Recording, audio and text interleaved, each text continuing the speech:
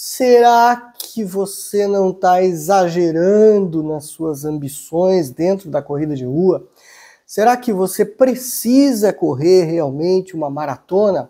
Mas para que que a gente precisa correr uma maratona? Roda a vinheta que eu já vou comentar a respeito dessas e outras questões a respeito da corrida de rua e da maratona, os 42K. Mas o assunto agora que eu quero comentar com vocês, o mental e o físico tem que estar alinhado para você poder correr uma maratona. Eu gosto, eu, careca de correr. Quando eu falo eu, gente, eu quero enfatizar que cada um é um. É isso. Você já sabe isso provavelmente. Mas quem é corredor de rua, e muitas vezes a pessoa que está começando agora na corrida, correu aí seus 10, seus 15, está pensando em correr 21, ou já correu 21 e já quer ir para 42, às vezes tem um, dois anos de corrida e já quer ir para os 42, calma. Não tenha pressa. Por quê, gente? Porque maratona não é uma coisa pequena. Maratona é uma distância muito grande que exige do nosso corpo muito esforço e muito treino. É isso mesmo, exige muito treino. Você tem que treinar pelo menos, pelo menos, o ideal seriam cinco dias por semana, mas pelo menos quatro vezes por semana. O ideal são cinco. Cinco dias de treino. Correndo, num dia você vai correr lá 12, no outro dia você vai fazer fartlek 12, outro dia você vai correr mais 10 com uma rodagem, depois outro dia outra uma rodagem de 15, depois outro no final de semana mais uma rodagem de uns 20. Então você tem que somar tudo isso aqui, é rodando 60, 70 quilômetros por semana. Você tem esse tempo? Tem. Tem família, tem trabalho. Quem estuda faculdade, tem escola. Tem o seu dia a dia, o os teus relacionamentos aí, a vida com a tua namorada, com a tua esposa, com teus filhos. Tudo isso você vai ter que, sabe, organizar para encaixar nesse meio, nessa tua vida a maratona. Porque nós, eu estou me incluindo nessa, nós, porque eu também não sou um corredor de rua profissional e eu não vivo da corrida. Eu acho que você também não vive da corrida. Eu tenho aqui um canal, eu gosto de colocar meus treinos, né, enfim, dar dicas e tudo mais, mas eu não vivo da corrida. O meu salário não vem da corrida de rua. Então, a corrida é um hobby, é um passatempo, é um prazer para mim correr mas não é o meu ganha-pão. Então, obviamente que o tempo que me sobra no meu dia, depois que eu cuido da família, depois que eu trabalho, depois que eu, sabe, é, é faço os meus estudos, aí que eu vou correr. E para você é assim também? Se para você é assim também, você tem que pensar: bom, para eu correr uma maratona, eu tenho que me preparar, eu tenho que ter o tempo da corrida. Eu não sei que cidade você mora, eu moro numa cidade em que tem um trânsito complicado. Joinville, por exemplo, para eu treinar em pista, na, no meu bairro, aqui onde eu moro, não tem pista. Só do outro lado da cidade que tem uma pista que é mais ou menos uns 10 quilômetros da minha, daqui onde eu moro, dá 12 quase. Essa distância eu tenho que percorrer de carro. De carro, esses 12 quilômetros, em dias normais, eu levo em torno de 30 minutos, com trânsito normal.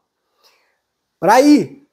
Mas para voltar, normalmente, que é o tempo que eu tenho, é geralmente final de tarde que eu vou fazer esse treino, o rush já me ocupa mais uns 45 minutos para voltar, porque daí eu vou pegar horário de rush.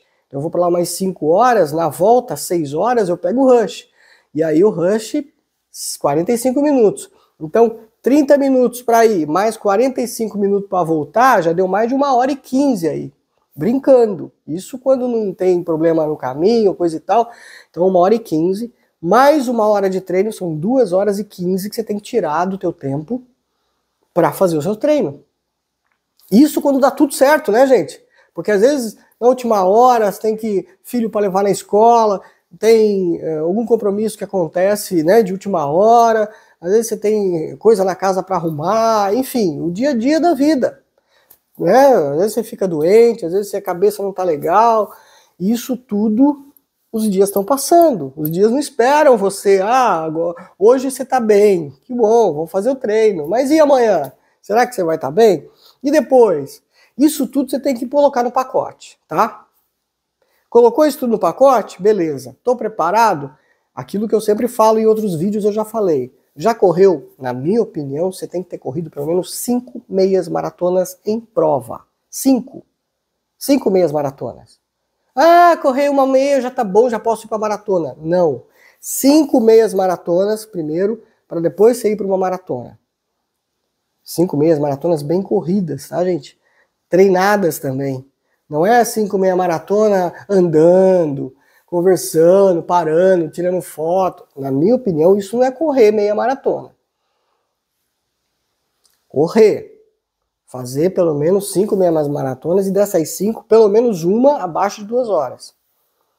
Por que, que eu falo isso? Por que, que o tempo é importante numa corrida? Porque quanto mais tempo você passa correndo, maior o teu desgaste, maior a possibilidade de você se machucar, porque você fica com mais tempo batendo o pé no chão. Você está mais tempo colocando o teu corpo no estresse. Então, quem corre uma maratona 4 horas, você vai concordar comigo. Se você corre uma maratona 4 horas, você sofre menos do que quem corre uma maratona 5 horas, não sofre? Você chegou antes, você correu 4 horas, você não correu 5. Então, uma coisa é você fazer uma maratona em 5 horas, você vai sofrer mais do que quem corre 4.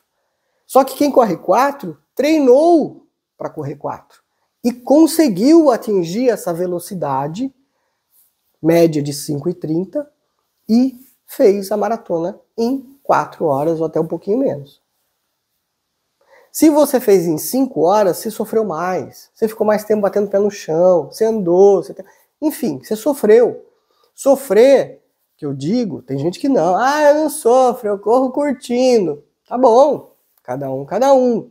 Mas eu tô falando de correr a maratona de percorrer os 42 quilômetros e chegar no final inteiro.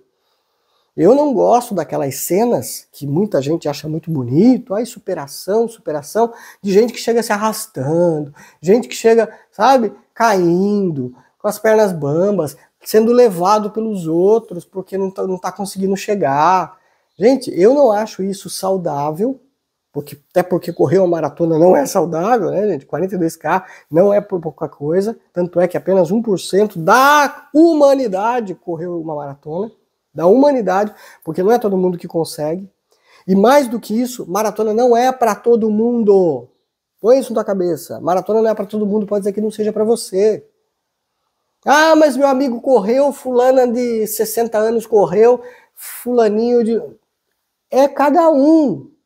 Não queira se aventurar e às vezes querer copiar um outro ou uma outra porque ela fez ou porque ele fez. Você não é igual a ninguém, né? Como diz aquele meme, né? Você não é igual a todo mundo. Todo mundo fez, mas você não é todo mundo.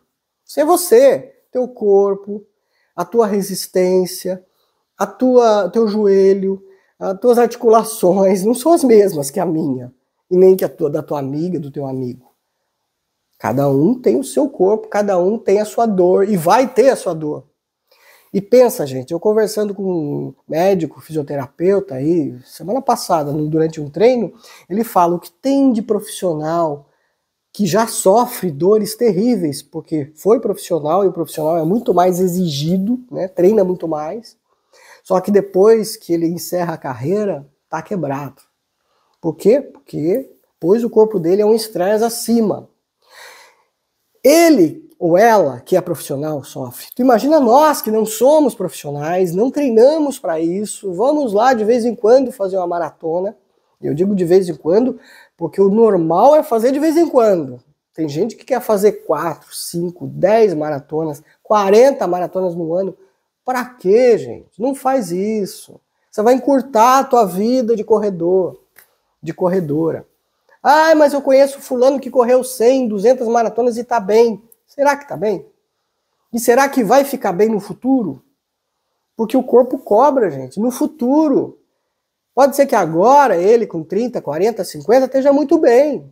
Mas e com 60? E com 70? Vai estar tá bem? Eu quero ter uma velhice saudável. Eu quero ter o meu corpo saudável daqui a 30 anos, daqui a 20 anos. E ó que eu já tenho 57. Eu não quero ficar andando, sabe, capengando ou sendo empurrado por outras pessoas porque eu exagerei hoje, porque eu abusei hoje. Então, pensa bem. Antes de você colocar na tua cabeça que você quer correr uma maratona, uma ultra maratona, seja o que for, pensa na tua saúde amanhã, no futuro. Ah, eu quero viver agora, amanhã não me interessa. Tá bom, cada um faz a tua vida o que quiser é a dica que eu estou te dando, conversando com especialistas, com médicos, com profissionais, com ex-atletas. Todos são unânimes em dizer: não exagere. Vai com calma. Maratona é uma, duas por ano no máximo. Ah, mas eu faço maratona andando. Tá bom. Quer ficar andando 5, 6 horas? O problema é teu, mas o teu corpo vai cobrar isso no futuro. Pensa nisso. Coloca isso na sua cabeça e entenda que maratona não é brincadeira. Meia maratona, até você consegue fazer bastante meias maratonas no ano. Quatro, cinco, seis, dependendo da pessoa, até mais. Mas é meia, 21 quilômetros, que também já é bastante. Não é pouca coisa. Mas os treinos são menos, né? São menos treinos. Você pode treinar três vezes por semana e fazer uma meia maratona. Agora, maratona, gente, não é bolinho, é muita coisa. Eu já corri seis.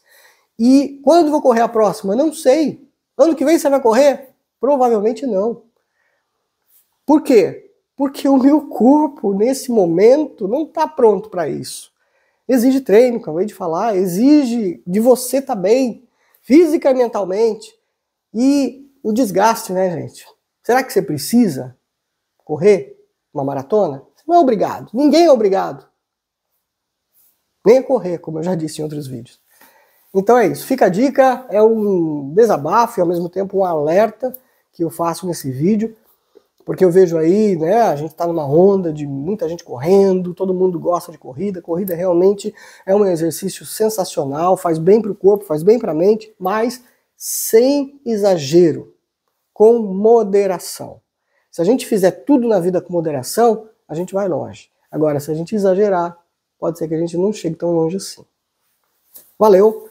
Espero que você tenha gostado desse vídeo, desse alerta. Se você puder, compartilhe esse vídeo com seus amigos e amigas, principalmente aqueles que começaram na corrida agora e já quer fazer uma maratona. Calma. Pelo menos cinco anos de corrida para você pensar numa maratona. Teu corpo tem que estar fortalecido. Fez fortalecimento? Faz fortalecimento? Está preparado com a cabeça, com o corpo e com o tempo? Se você tiver tudo ok, beleza, taca-lhe o pau mas é a minha opinião. Eu acho que ela pode ajudar você e outras pessoas, né, que porventura estejam aí entrando na onda de achar que todo mundo tem que fazer uma maratona e não é preciso. Você não deixa de ser corredor porque não correu uma maratona. Legal? É isso. Obrigado que você está seguindo o canal. Se inscreva, não se esqueça de se inscrever, é importante para o careca. Bons treinos, boas corridas e ó, vida longa na corrida, gente, sem exagero, com moderação.